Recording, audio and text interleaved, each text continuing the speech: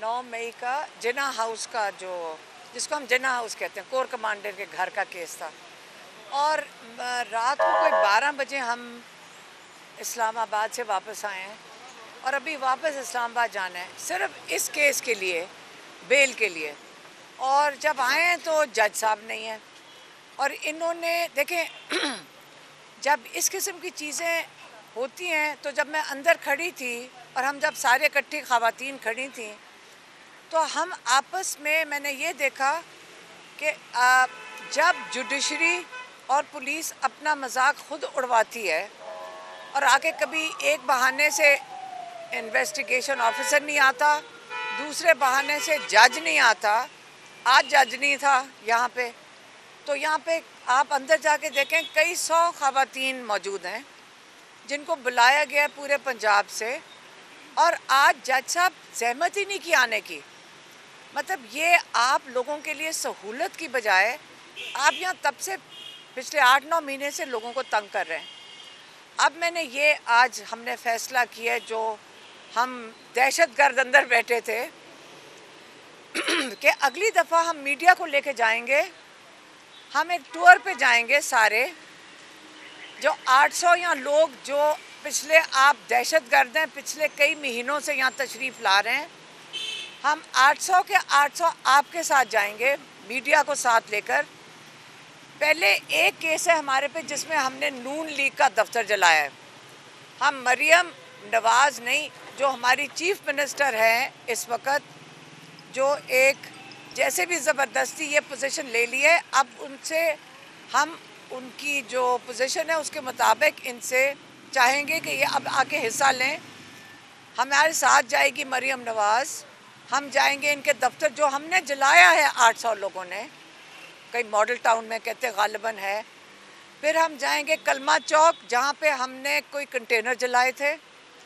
उसके बाद हम जाएँगे और ये हम पैदल और ये हम सारे के सारे, आप और हम, ये पैदल सफ़र करेंगे। अगर इन्वेस्टिगेशन ऑफिसर को ये इन्वेस्टिगेशन नहीं कर सका पिछले मई से, तकरीबन दस महीने हो गए हैं। उसे इन्वेस्टिगेशन हम हम और आप मिल के जाकर इस पूरे रूट की इन्वेस्टिगेशन मिल के करेंगे। आप हमारे साथ जाएँगे। हम ये वहाँ से चलेंगे कलमा चौक क्यों हमारे पे केस एफआईआर में है। उसमें पता नहीं कई हज़ार लोग नामजद हैं जो जेलों में भी हैं। नून लीग का दफ्तर चलाया, उसके बाद हम कलमा चौक जाएँगे। ये हमारा रूट होगा। उधर से फिर हम जाएँगे कोर कमांडर के घर। और हम सारे इकट्ठे चलेंगे। ये ना हो कि हम दोबारा और आप भी गिरफ़्तार हो जाएँ। लेकिन नहीं होगे इन और हम चीफ मिनिस्टर को भी बुलाएँगे, ताकि हम ये रूट पूरा करें, इन्वेस्टिगेशन ऑफिसर के साथ हम मिलकर इसकी इन्वेस्टिगेशन कंप्लीट करेंगे। अगर बेचारे इन्वेस्टिगेशन ऑफिसर को एविडेंस नहीं मिल रहा, हम उनके साथ मिल के चलते हैं।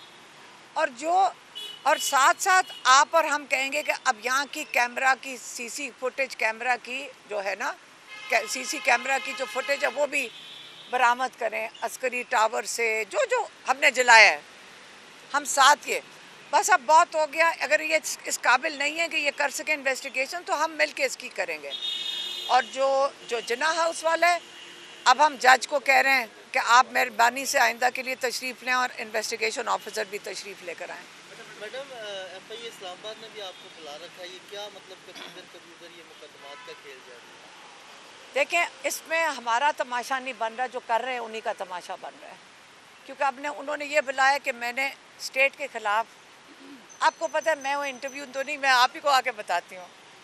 अगर आप इसको एंटी स्टेट कह रहे हैं, फिर जो मैं आपके साथ बात कर रही हूँ, जो मैं आपके साथ आज बातें कर रही हूँ, इसकी वजह से एफआईए ने मुझे बुला लिया।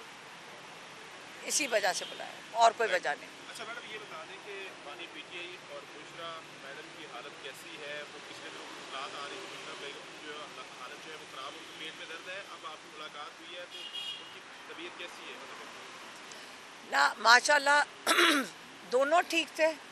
बुशरा बीबी भी ठीक हैं इमरान खान भी बिल्कुल ठीक हैं। हाँ उनको आँख का इन्फेक्शन हुआ था। और देखिए इमरान खान का आँख का इन्फेक्शन ये हुआ था, उन्होंने कहा था, मैं फिर से कहूँ, वो उस चीज़ की बात भी नहीं करना चाह रहे थे।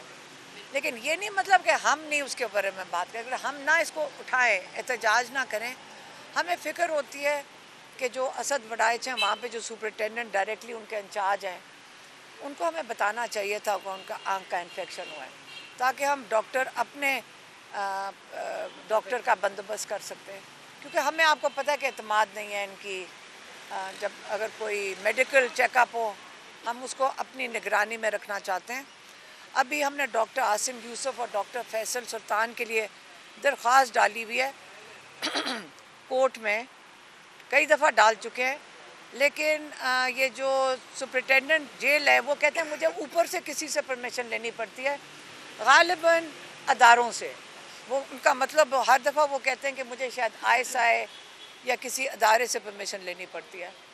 पता नहीं हम इसको छुप के क्यों बात करते हैं? वो कहते हैं कि हमें आई से परमिशन लें अच्छा मैडम ये बताइएगा कि इमरान खान साहब क्या चाहते हैं कि वो बाहर आने के लिए या क्या वो किसी किस्म की उन्होंने बताया हो कोई उनसे रबता कर रहा हो बैक डोर उनसे कोई डील करना चाह रहे हो?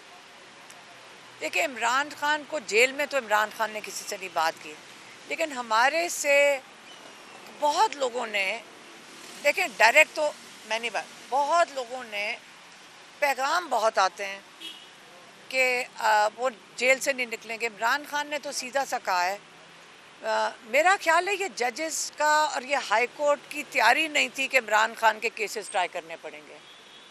मेरा ये ख्याल है।